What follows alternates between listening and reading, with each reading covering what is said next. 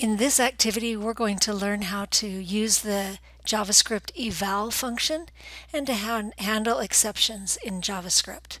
So to begin with, we have this page and we want to be able to enter uh, the number of inches here and to report out how many meters that is. So we're going to do a simple conversion.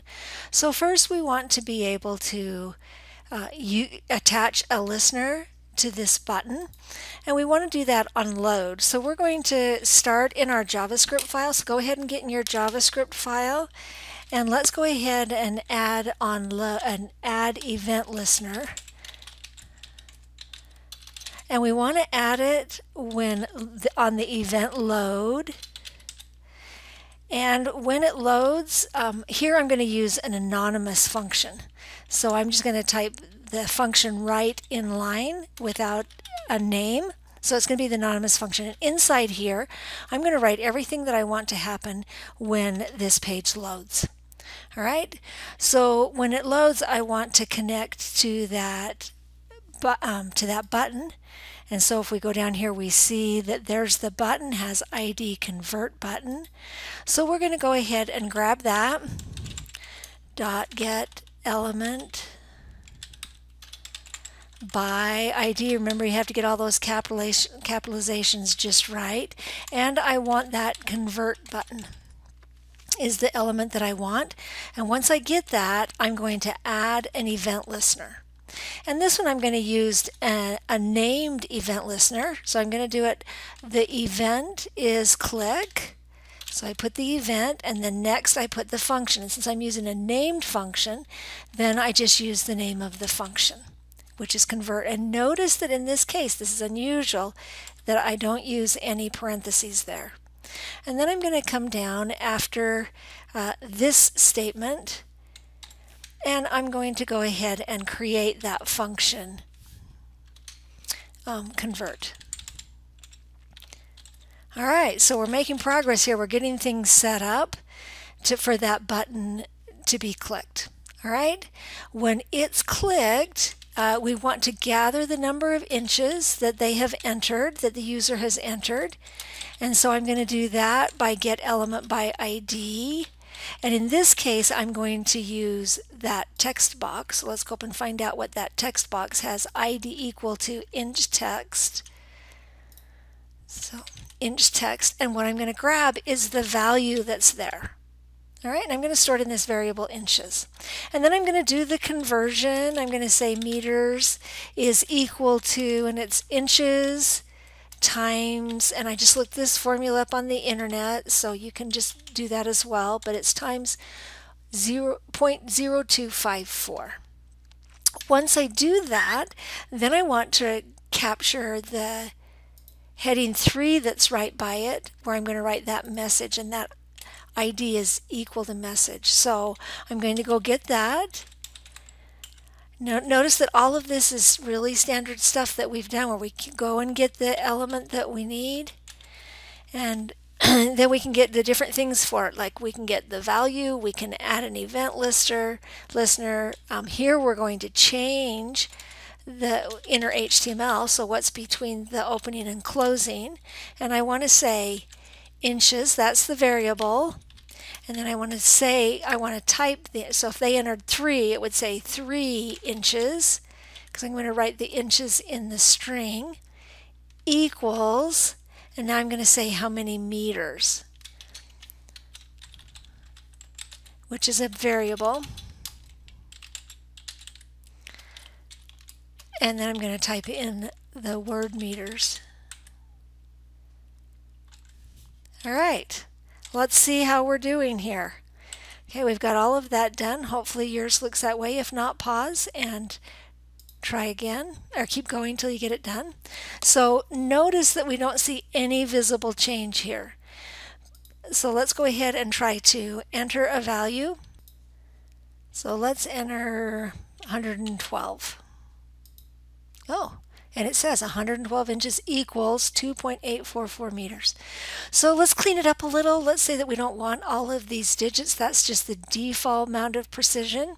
So we can go into our formula and right here where we do meters, we can use the toFixed function. Say we only want two digits after. All right. It might be a while since you've used that. It's just the variable dot toFixed and this specifies it doesn't change the value that's stored in meters it just specifies how much of it to be displayed. So let's try that again. We put in 112 and there we have it rounded to those two digits. Okay so we've got this happening. This is happening pretty well. Now let's go ahead and see if somebody does let's say that the user enters something like this what happens? Uh, it comes up with this NAN meters. Now you and I might know that that means not a number, but our user doesn't know that. And so we want to be able to handle this a little bit more user friendly.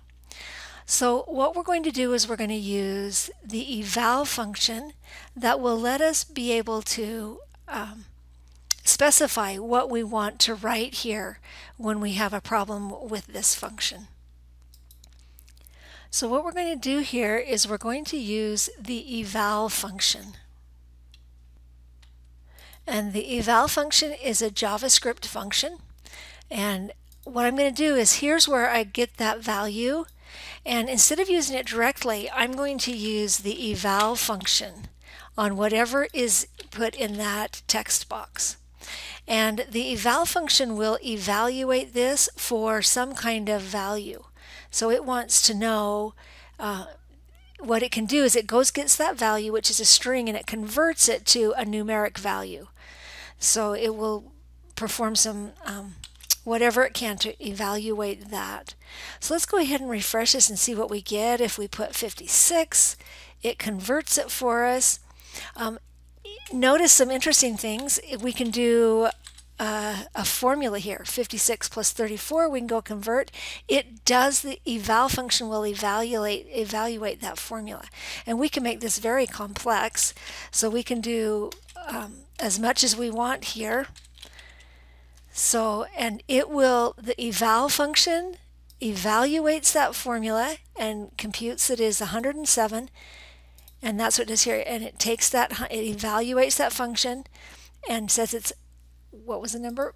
To um, 107, stores that 107 in inches, does the calculation to find out how many meters that is, and stores that in meters and reports back out to us. So we see that it works if they enter what we expect. But what about if we go back to this problem where they enter the word inches after it? What happens then? Oh, look, nothing's nothing seems to be happening. Let's refresh it so we can see without that in there. And when we click on it, it appears that nothing's happening. Let's go ahead and look at our console and notice what we're getting here. It says we're getting an uncaught syntax error. And so our, our page quits working. And this is problematic. We don't want to allow our page to quit working. So what this is showing us is that the eval function throws an exception. When it cannot evaluate what is in the parentheses, then it throws an exception. So here we have the opportunity to use a try catch block to tell it what to do when that happens. So we can say, hey, try this. So try the eval function, right? And um, here, here you go. If you try it, so here's where you're going to try, well, actually, it's just right here. Here's where you try the eval function. If it works, there's no exception thrown in it. just moves down to the next line and does that. Then it moves to the next line and does that, which is just what we want it to do. But if it does this evaluation and it it throws an exception, then we can it will move to the catch block. And so we can say, hey, we want you to catch that error. And here we can say what we want to do. And what we want to do is we want to write a message, something different than what is there now. But we're going to still write it to the same location, but we're going to specify something different. We're going to write another message. And notice this is way past my 80 characters, so I'm going to bring this down on the next line and say Okay, could not do conversion. Please enter number or complete formula only. So let's go ahead and see what happens now as we move to this. So we do this, they put in something, well let's try something just regular. And it does the convert. Here it can evaluate it, that worked, no exception was thrown, and it does the 1.5 meters. Now let's try it when there's something that they can't figure out. And what does it do? It reports what we did. So it does what we asked it to do in the catch section. So here we have the opportunity to catch that exception and do what it is we want to do with it. All right, that's pretty straightforward, but that's just the beginning of what we need to know about the eval function. There are some tricky parts about the eval function. So this is not it, but notice what happens if I put a, um, a JavaScript command in there. So one of the things the eval function does is it evaluates a formula, a mathematical formula. But the other thing it does is it will execute a statement. So here I've entered a document.write statement. So now when that's evaluated, no exception is thrown, the actual statement is executed. And my page is gone. It did a document.write, which started from the beginning, and that page is everything's written overwritten by this gotcha that I wrote in that statement. This is the security risk with eval functions. Now, a document di a, um, a document dot write uh, problem function call is not too serious, right? Because all it does is write information to the page, right? Just wrote that heading. So that's pretty benign, but there are very hazardous um, JavaScript functions. So if somebody were being malicious, they could enter something in here that could do damage to our program or to the data that we have stored. And so whenever we use the eval function, we want to protect it so that it can't gather information from a user because we don't want to open up the risk that the user can enter anything that they want because it might be malicious. So what we do in this case is on that text box, we're going to call it a read, we're going to add the read only attribute. And you can do the simplified version where you just write read only and you don't have to give it a value and that sets it so we can't access it. So as soon as I do that, then notice that I can't, I'm clicking and typing, I can't click and type on there at all. So it's not letting me do anything. It's read only, I have no direct access to that text box. Well, once we do that, we have to give a way for the users to be able to enter values in there. And so what we want to do is we want to absolutely control that. So we're going to create a way for us to add it. and for our so for our program to add it. So go ahead and take the comments off of all of these buttons and we'll create we'll let these buttons be a way for the user to be able to enter something. So remove those comments and here you have all these buttons that the user can use to enter values in here. First, let's go ahead and change the instructions so they won't be entering the number directly. They'll use the buttons below to enter the number of inches. Okay, so that will give them better instructions. But now we need to wire up these buttons so that when you click on them, their value is written in there. Now notice with each button, I've set the value to be exactly the number that is on the button. And I've given them, I've given all the ones that have numbers on it a class digit and all the ones that have operators a class operator. And this gives us a way to access these different buttons. So in the JavaScript, what we want to do is, again, add listeners, right? But now we're going to be gathering a whole bunch at one time. So to do that, I want to say, okay, I want to, I'm going to get this numbers. And now remember, JavaScript is light, loosely typed.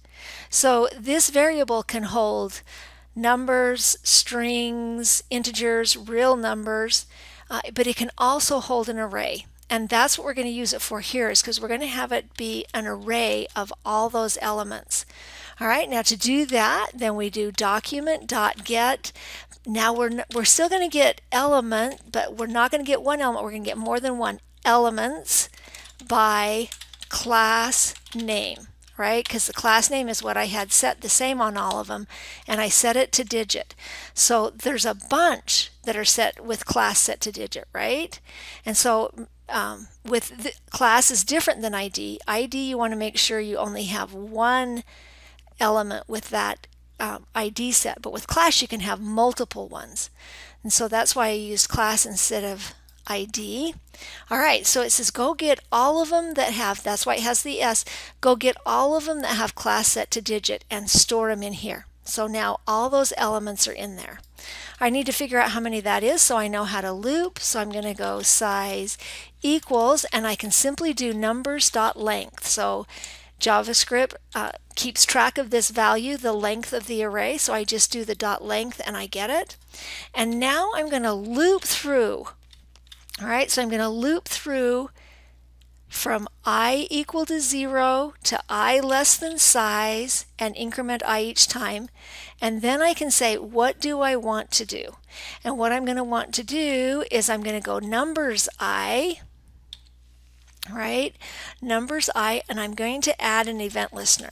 And this allows me to loop through and add an event listener to each of those buttons. And the event I want it to listen for is the click event. And I'm going to have, I'm going to use a named function here as well, and I'm going to call it build formula. Okay, so you do this along with me. Go ahead and add this um, event listener and this loop that'll go through and add it to every one of those buttons. And then we'll come down here and write another function. And we'll call it build formula.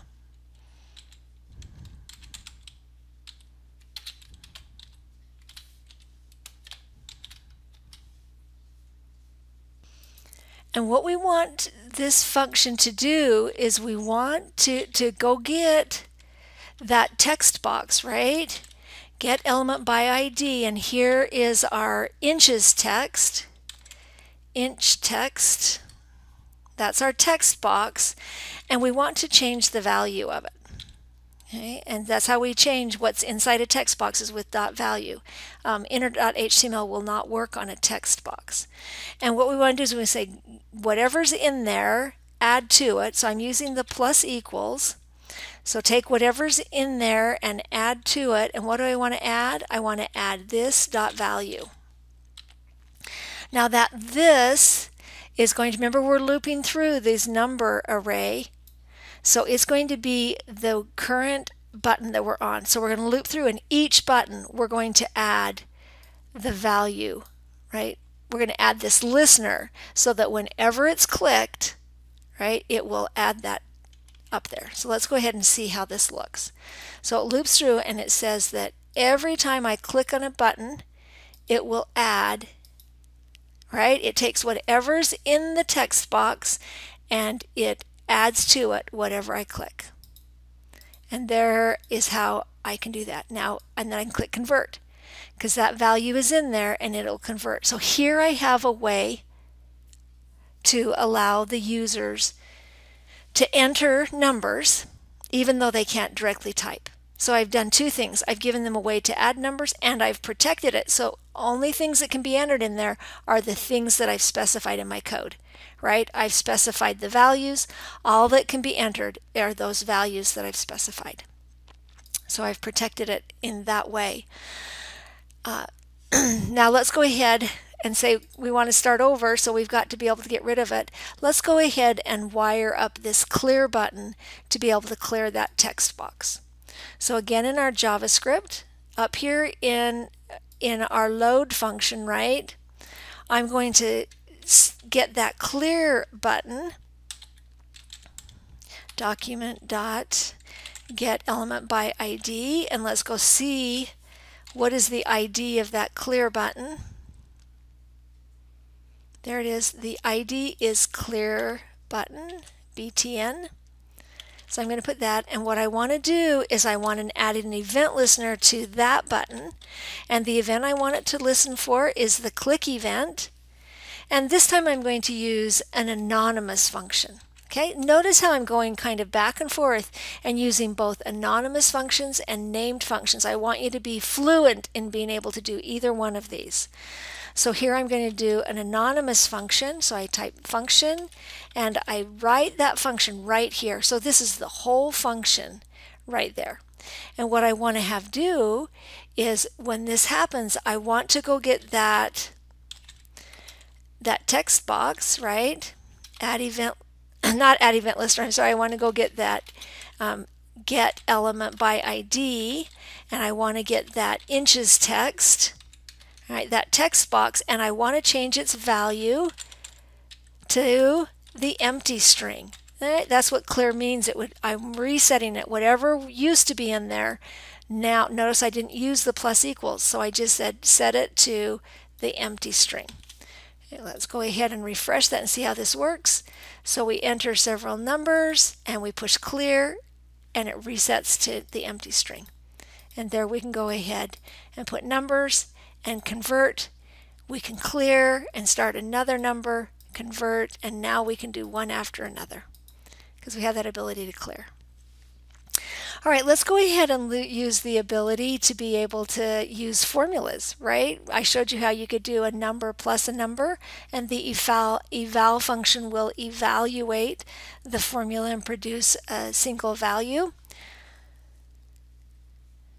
So to do that, we want to wire up and put event listeners on all of these operators. And these are going to look very much like we did it with all of the numbers, right? So, but now we're going to get them by the operator. So we're still going to use get elements by class name, right? But we're going to use operator. So let's go ahead and do that.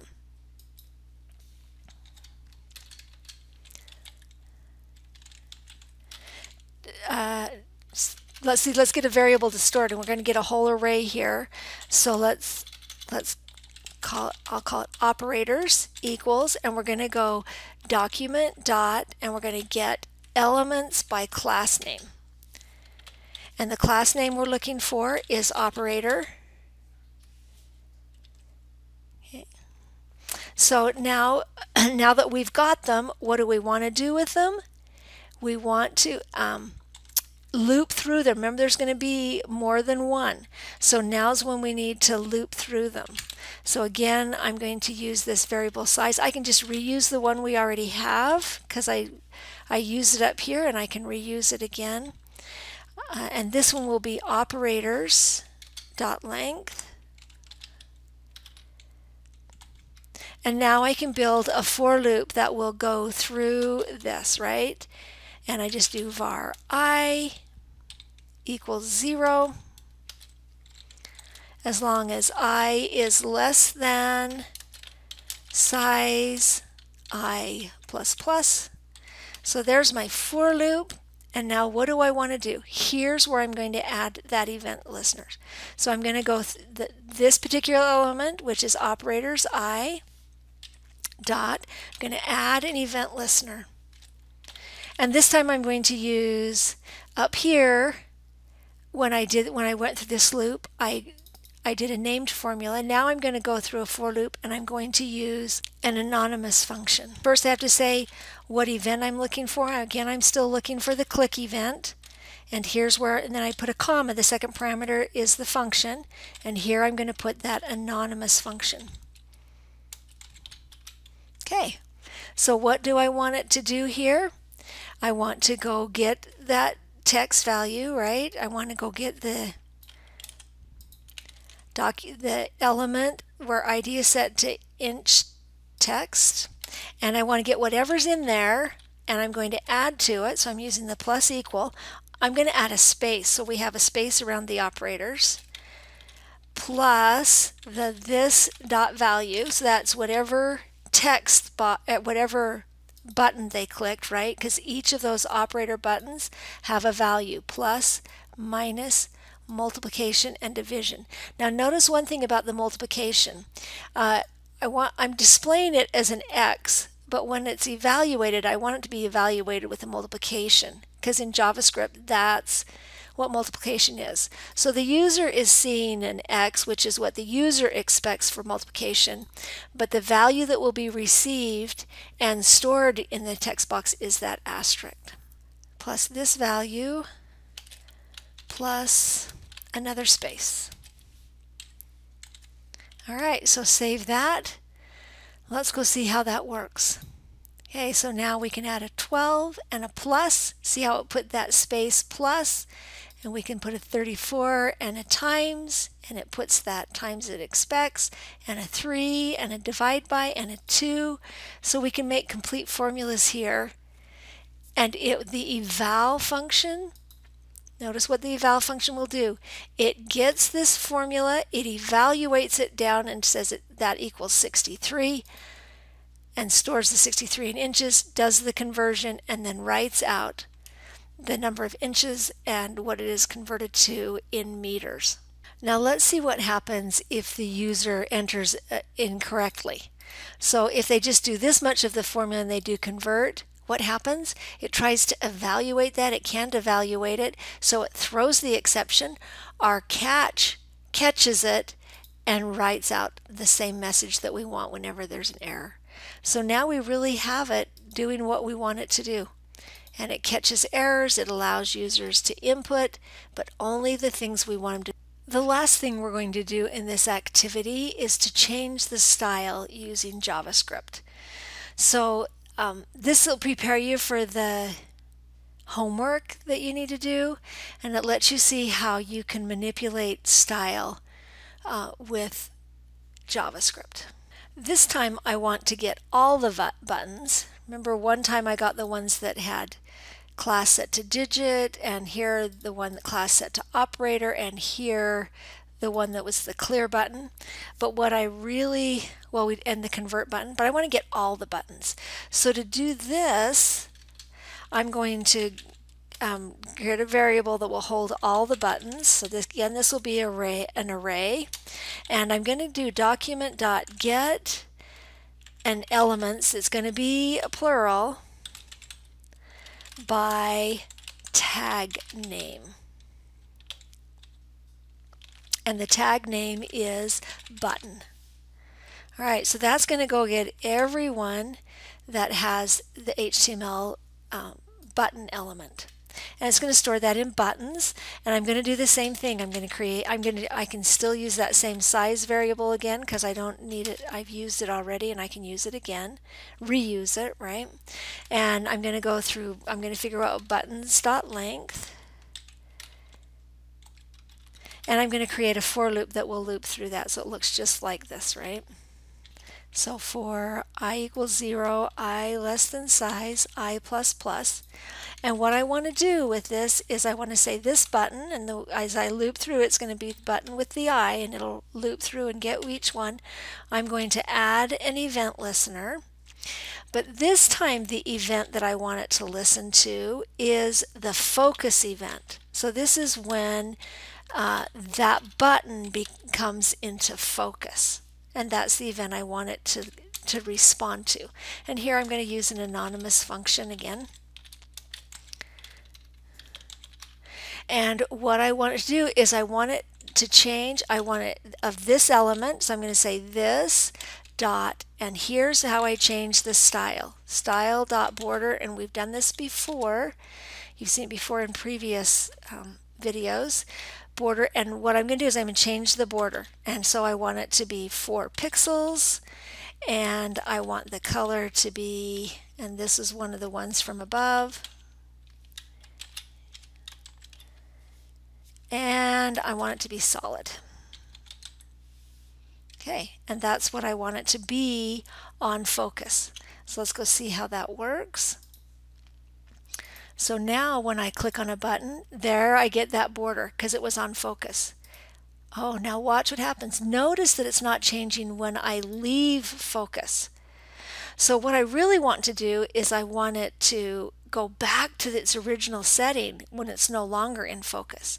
So to do this, I need to add an event listener on blur. Now I can use the same buttons, right? I want this to be added to every button, so I'm actually going to do this in exactly the same for loop.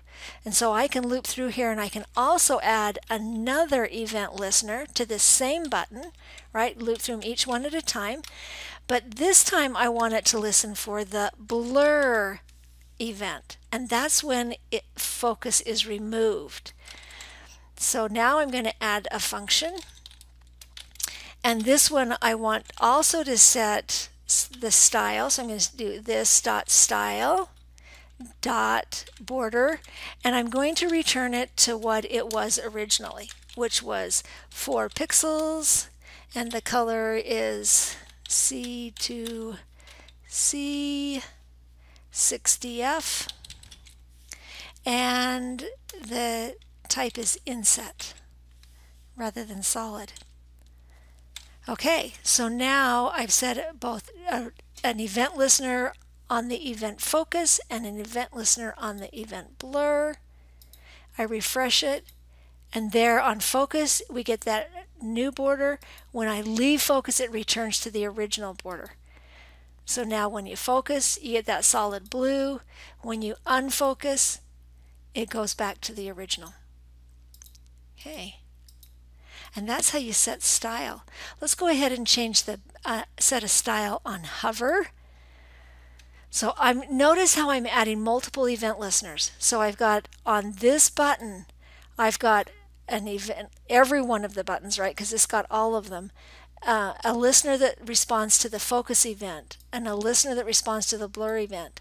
And also then I have on the click event for the operators and the click event for the clear button and the click event for the digit buttons and for the convert buttons. They all have multiple event listeners added, and that's certainly doable.